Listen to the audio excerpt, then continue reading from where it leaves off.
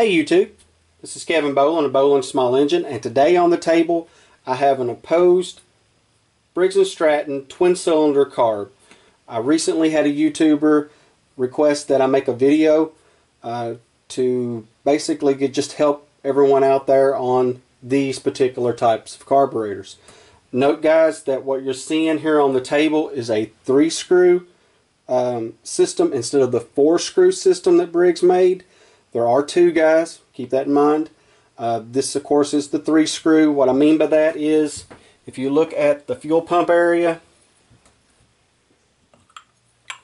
there are actually three screws that hold the fuel pump in place. On others guys, there is actually four. So keep that in mind guys. Um, without further ado, I'm going to go ahead, sit down, and show you guys what these parts are, uh, what you need to ask for if you need to repair okay one of these carburetors. Uh, logically, a repair kit, you know, is the way to go, but let's say you take it apart and you're just looking for an individual gasket. Then you're going to actually know what that gasket's called.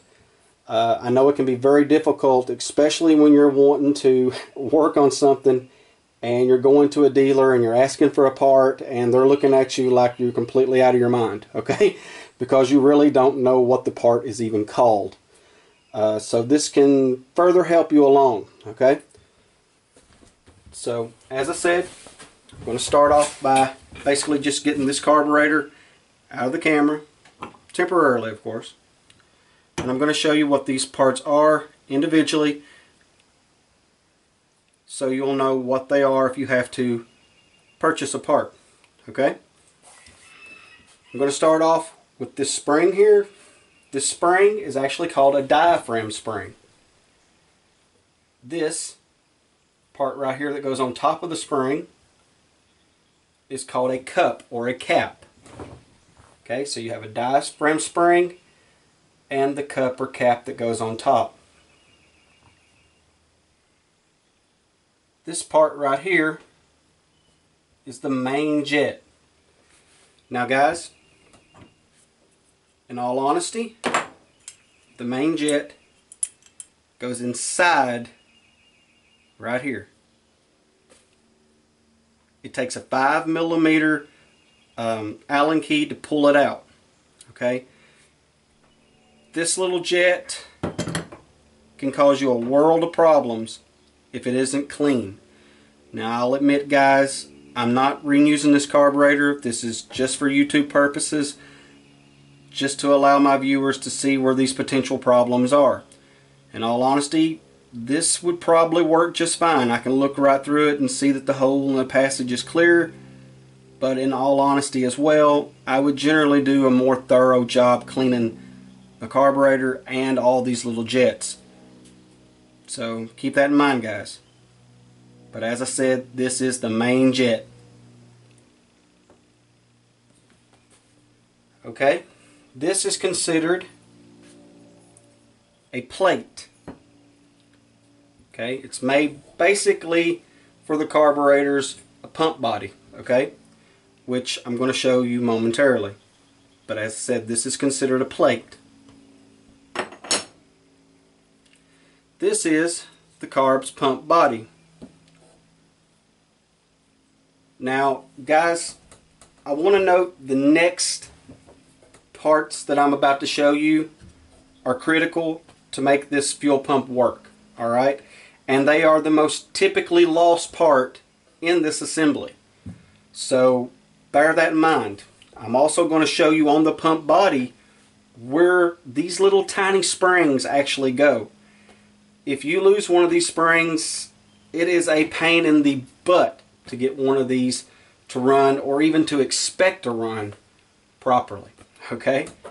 So I'm going to try to tilt this up, this pump body, and I'm going to show you where these springs go. As you can see in my hand, these springs are extremely tiny. And as I said, they are a pain in the butt because they fall out very, very easily.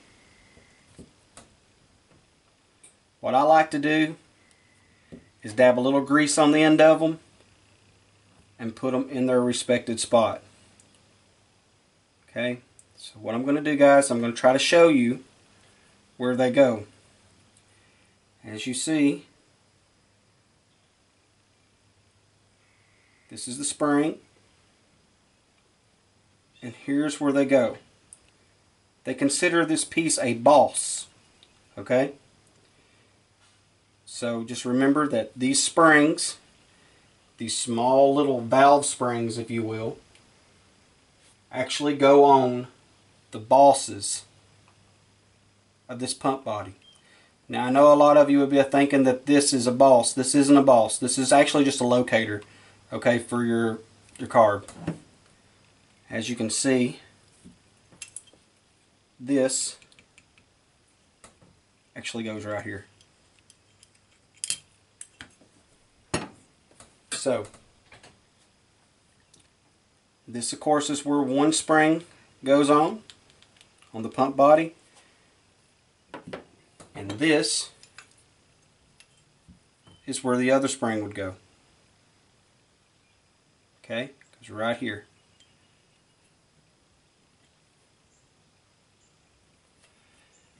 Now as I said guys, when I'm assembling this carburetor later in the next video, you're going to see that I dab just a little bit of grease on these springs. I do that to help retain the springs while I'm assembling the pump body.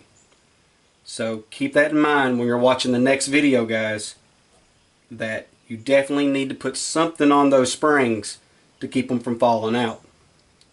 I choose grease. There's many different methods. You can use Vaseline. I've heard of people using Vaseline. Uh, you can even use really thick motor oil. It works very well as well. But I personally just use lithium grease. Just a little tiny dab of lithium grease. It works very well for me. Now, guys, I'm going to start off at this point by telling you about the float. These floats are notorious for getting little pinholes. Over the years, the gasoline will just eat up this little tiny copper uh, float and you'll get little pinholes in them and before you know it your carburetor's flooding and you're wondering what in the world is going on you know your engine worked just fine last week and you come out to start it and there's gas everywhere okay or worse you've got your engine started and it just sputters and pops and shakes and surges and acts as just completely crazy, all right? And this is generally why. There will actually be gas on the inside of one of these floats. The easiest way to identify whether you have gas in the float is to just kind of pick it up and shake it at your ear. If you hear something sloshing around on the inside of that float, then you pretty much realize at that point you need to replace that float. And I'll be honest with you, it is imperative that you do so because your engine will not run worth the crap, okay, if you don't. This is considered a plug. Now guys, this plug that you're seeing right here actually goes right here. Now earlier I had said that the pilot jet goes inside of this hole and I'll explain that guys.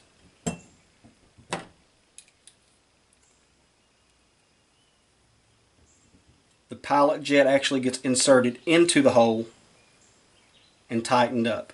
Okay? So all I'm doing right here is just tighten up the pilot jet on the inside. As you can see. Pretty simple. Okay? Now I want to note guys that with this plug, what I like to do because of the O-ring is I like to dab just a little bit of that lithium grease that I told you guys earlier on the threads. It really seems to help, okay? Especially if you ever have to tear this back down again, and believe me, you will, okay? Within about two to three years, generally you have to put a kit in these. So bear that in mind. It's just smart practice, I guess you could say, to put just a little bit of grease on the threads as well as this little O-ring here.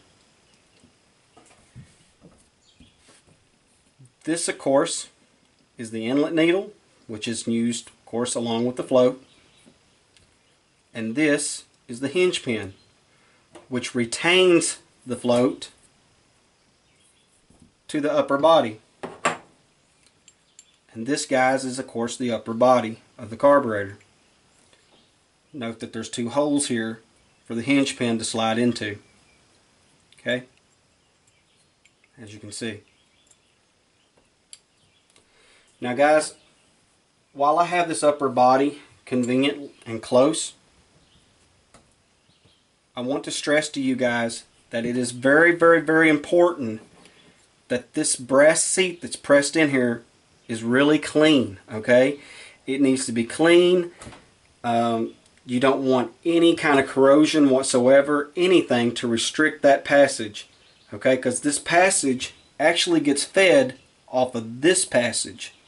This tiny little passage right here is actually what feeds this passage, okay, which is your um, your fuel valve here, okay, or fuel inlet, shall I say and it's pretty easy for them to get clogged up okay? What I like to do is take some carb cleaner and blow back through them just to ensure that they're really clean.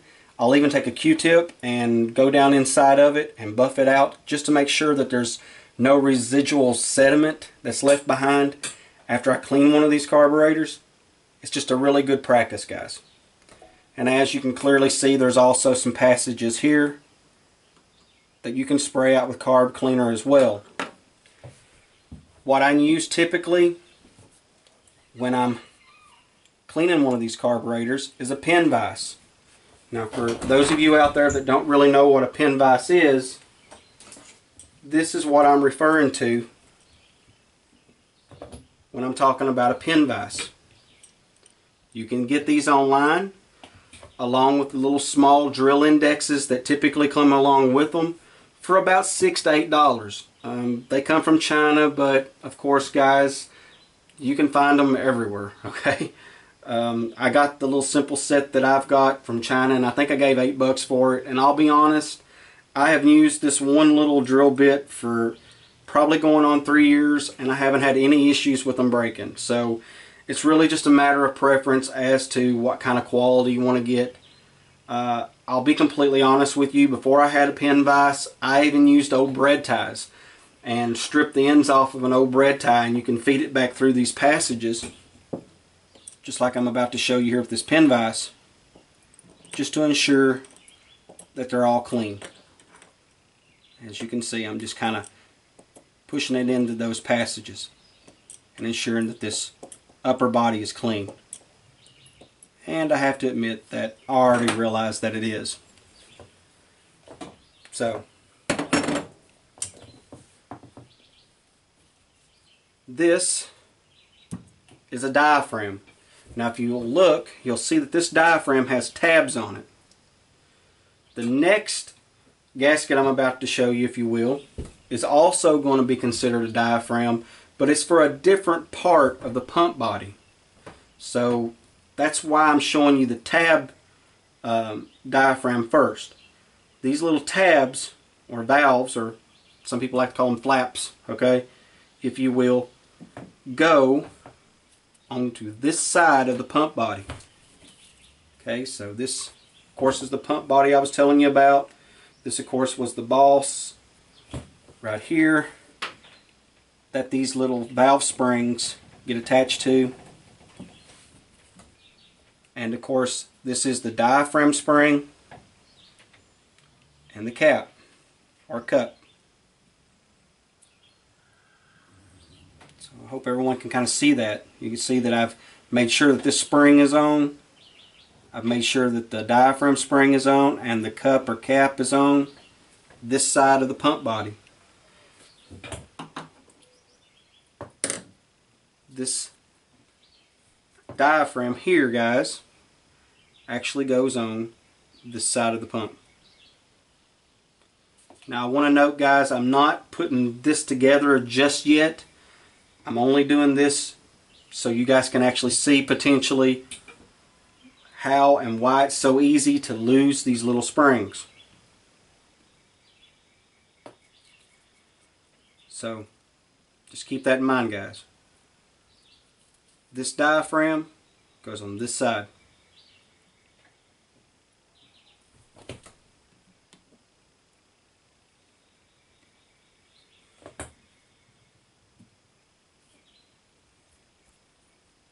Now, this diaphragm, guys, goes on the opposite side. But there's a gasket that gets attached to it. Now this one is kind of adhered to the gasket that's basically underneath it over the years and I couldn't really take it apart without tearing it. But I think I can hold it up to the camera good enough for you guys to identify its shape. Okay? And have a better understanding that this is actually two gaskets. Okay? So as I said, when you buy a kit, you're going to have this side, or this gasket, if you will. And it will go just like this. Okay? Reason being is this plate actually gets placed like this. Okay? So bear that in mind, guys. That this side of the gasket will go on the body, and this side of the gasket will go on the plate.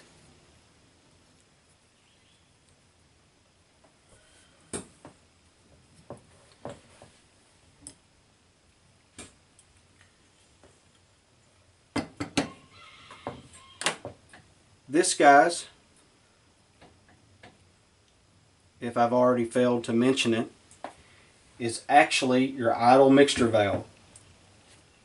And if you start your motor up and it's surging really crazy or just, you know, acting erratic, this is generally a good place to start, all right?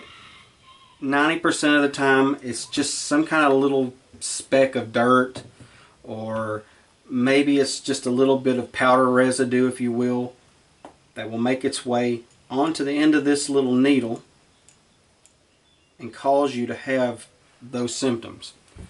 And it's a simple matter of just turning the screw left or right to, uh, you know, basically get the engine to straighten out and run right, okay? Um, I'm also going to tell you guys that these screws, of course, are the screws that go for the fuel pump. And these screws are the screws that go onto the upper and lower body. here, here, here, here, and here. And of course this gasket is just your carb gasket. Now there's several different styles of these. When you buy a kit guys, you need to make absolutely sure that you're using the right gasket. If you don't, it can actually be a pain in the ass because if the gasket that you use covers over one of your holes here, then of course naturally your motor isn't going to run properly. I think I've pretty well covered all the parts guys and what you're going to potentially find on one of these carburetors. In the next video I'm going to show you your problem areas with these carburetors and where you potentially want to run the little pin vise that I'd mentioned to you. Through the carburetors and clean them. So without rambling on guys, I'm going to go ahead and end this video and I'm going to start the next video with the um, cleaning of the passages which are here, here, and I like to clean this as well. and of course these passages as well as well as your inlet needle valve here. Or seat. I should say seat